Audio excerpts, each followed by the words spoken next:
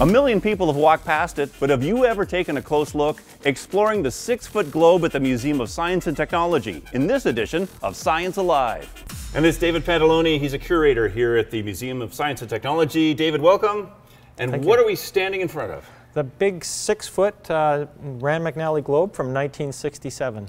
And where did this used to be at the museum? Well, for years it was the entrance to the museum and the original museum, 1967, and then Yeah. for a long time it was also in the Canada and Space um, exhibition. So when you first walked into the museum, this is the first thing you would see.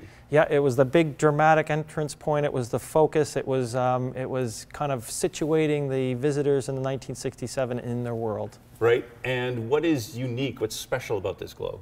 Well, what's great about it is that it's from Rand McNally, and there were several of these around um, in the 1960s in libraries, institutions around Right. North America. It was kind of the space age, and it was a way of everyone situating themselves in the space age. It was part of the imagination at that time.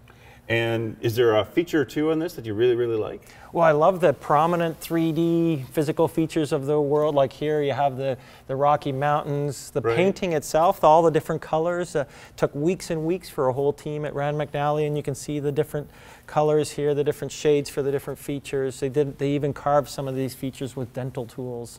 Now, David, on this globe, there are some cities and there are some cities that are missing. What do you see when you look at it? Well, it's interesting where there are a lot of cities, like Europe here, the capitals, and, the, and then in on Africa here, there's only three: Cairo, Tunis, Algiers. The rest all totally blank.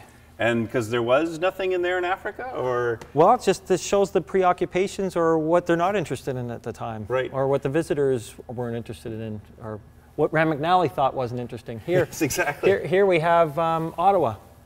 So this was made for an Ottawa audience. There's a, it's in it's in light uh, red there, and then Washington is in in black. So you have two cities in North America here, or in Mexico City. in Mexico City. And what is interesting too is I see there's provinces in Canada but no states. Yeah, so States. it was probably because it was made for um, the Canadian audience. So you'll see all the little very faint borders there of the Canadian provinces. David Pantalony, a curator here at the Museum of Science and Technology. Thank you for joining us.